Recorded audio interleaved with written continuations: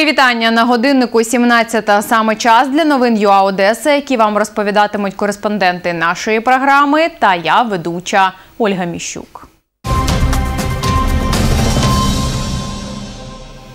У Малиновському районному суді Одеси зачитали 28 томів матеріалів справи по купівлі будівлі заводу Краян. На лаві підсудних мер Одеси Геннадій Труханов, його заступник Павло Вугельман та ще шестеро підозрюваних. На даному етапі розгляду справи відбувається вивчення доказів обвинувачення. Це 66 томів матеріалів. Прокурор спеціалізованої антикорупційної прокуратури Максим Кравченко розповів, які докази встигли розглянути. Відео це е, ті скріншоти, які е, ми е, хотіли, зміст яких ми хотіли довести до суду, з'ясовуючи обставини. Якраз вони підтверджують те, що Богданова, Загадіренко, Кравченко та інші особи знали один одного і спілкувалися. І якщо звернути увагу на дати, то там зазначені дати їх спілкування. Це якраз було період оцінки та продажу цього майна. Обвинувачувані не спілкувалися з представниками ЗМІ. Позицію захисту озвучив адвокат Геннадія Труханова Олександр Лисак. Чергово дослідили сьогодні п'ять томів матеріалу кримінального провадження, саме сторони докази сторони обвинувачення. Прокурор вже не пояснює, що ці докази мають які значення. Ну, оголошує де все, що просить долучити наступні докази все. Оскільки прокурор не зазначає, хто ініціатор цих документів, хто підписант цих документів, хто взагалі створював, які вони відношення мають. Прокурор вважає, що це його докази. Ми приїхали сюди за виправдовувальним вироком. При такій виграшній справі ви що? Треба вигравати. Навіть прокурорам кажу, ну треба, знаєте, якось трошки налаштувати, що ну, не думайте, що ви виграєте справу. Треба і програти і не боятися програти. Нагадаємо, за даними слідства Національного антикорупційного бюро України, у вересні 2016 року Одеська міська рада придбала у приватної структури будівлю, яка раніше входила до майнового комплексу заводу Краян за завищеною у 16 разів ціною, а саме за 185 мільйонів гривень. На початку 2016-го фірма-продавець заплатила за цей комплекс на аукціоні 11,5 мільйонів гривень. Отримані від міської влади кошти фірма спробувала перерахувати компанії з ознаками фіктивності, стверджують НАБУ.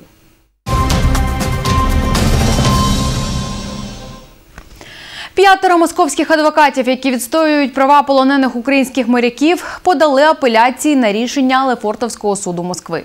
Про це розказав юрист Микола Полозов. Він координує роботу захисників по справі. За його словами, апеляційні документи вже підготували і кримські адвокати. Папери пересилатимуть поштою. Термін подачі скарг закінчується завтра. Сам же Полозов подав скаргу на судову ухвалу щодо моряка Дениса Гриценка. Естественно, с э, решением Лефортовского суда, вынесенным в э, позавчера, 15 э, января, я не согласен. Считаю это решение незаконным, необоснованным, поскольку суд не принял во внимание, что Гриценко является военнопленным, что э, рассматривал абсолютно не тот суд, который должен рассматривать в соответствии с Женевской конвенцией, то есть не военный суд, а гражданский. Э, не принял во внимание те обстоятельства, что военнопленных нельзя содержать в следственном изоляторе. Нагадаємо, 12 полонених українських моряків Лефортовський суд Москви лишив під вартою ще на три місяці. У слідчому ізоляторі вони пробудуть щонайменше до 24 квітня. Судили, судили військовополонених за зачиненими дверима. Раніше, 25 листопада, Катери Нікополі, Бердянськ та рейдовий буксир Яни Капу в нейтральних водах поблизу Карченської протоки атакували російські спецслужби. передал все озера Грейша. Давай, Давай, держаться всем, Лево держаться!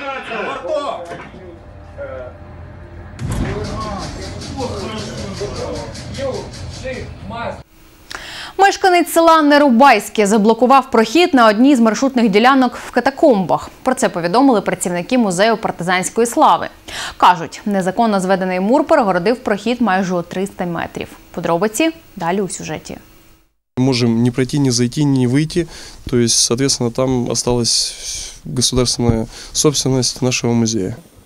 Про те, що хтось замурував один з проходів у катакомбах, працівники музею дізналися випадково. Кажуть, це сталося після того, як на світлинах картинної галереї, яка знаходиться неподалік від цього місця, почав з'являтися конденсат.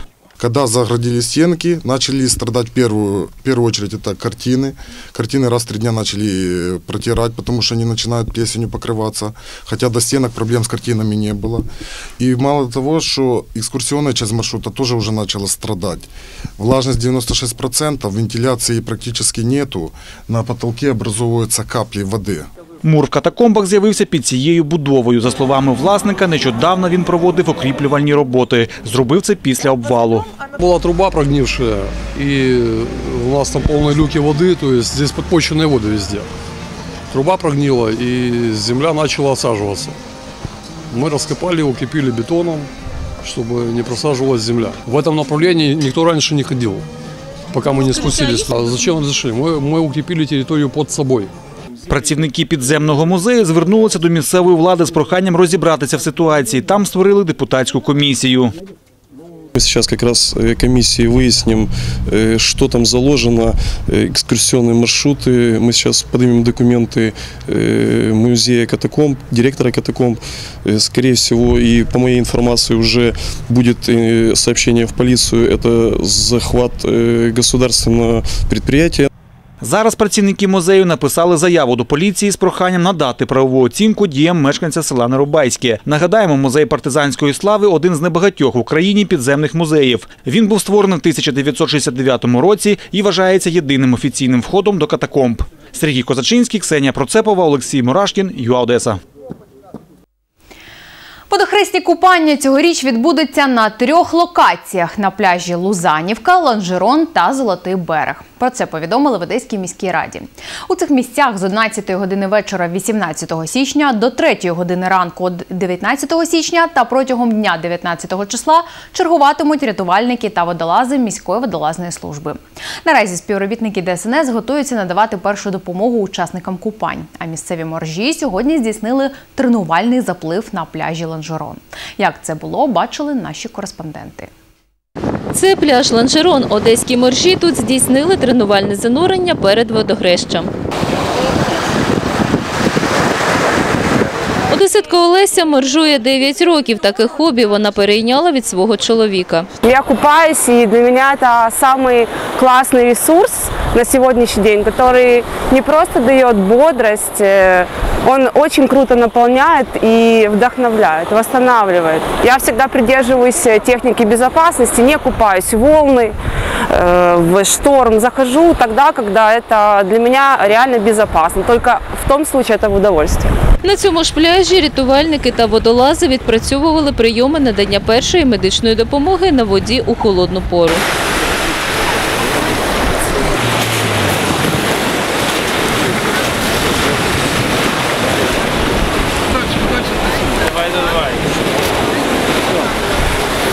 правильно занурюватися, розповів керівник одеського клубу моржів Дмитро Юркін. Подготовка должна быть в чем? Э, Должна быть легко снимаемая, одеваемая одежда, никаких пуговиц, там, сложных девочкам там, колготы, натягивающих, что, э, штанов то- обтягивающих. Обязательно полотенце э, одно-два, чтобы хорошо вытереться, там, голову, тело. Халат очень хорошо.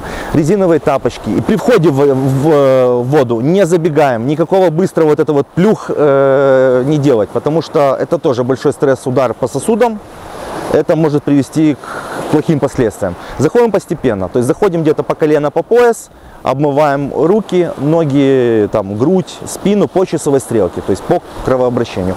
Выходить можно уже как угодно, как вы себя чувствуете, но нежелательно задерживаться. Це будуть три основних локації: це е, Лузанівка, це Ланжерон і це пляж Золотой берег на 16-й станції Великого фонтану. Як завжди, ДСНС буде встановлювати намети, буде гарячий чай, буде освітлення. Е, Це наша спільна робота і міської влади, і ДСНС. Також будуть рятувальники працювати, водолази, які обстежили дно перед тим. Олена Халілова, Сергій Козачинський, ЮА Одеса. Зазначимо, 19 січня відзначається свято водохреща. Саме в цей день хрестили Ісуса Христа в річці, в річці Йордан, де на нього зійшов Святий Дух у вигляді голуба. Традиційно у цей день люди занурюються у воду, адже вірять, що купання у крижаній воді змиває з них гріхи. Як правильно занурюватися з релігійної точки зору, ми поцікавилися у священнослужителя протиєрея Віталія. Всі християни е, мають перехреститися. Добре би було, щоб молитву прочитали Ісусу, Отче наш, е, щось попросили в Бога. Щось так, як вони вже хрещені, вони не їм не потрібно просто охрещуватися таїнством. І щось попросити, в честь чого вони це роблять. І зайти, погрузитися, значить, в воду, от подібно Христові в цей день. А для нас це е, є святе. Для нас цей обряд має не тільки символічне, але й духовне значення. Може, от ця свята вода і нас і справить. Може, ми перестанемо там когось обманювати, е, когось засуджувати, на когось там злитись. І, і таке правда є.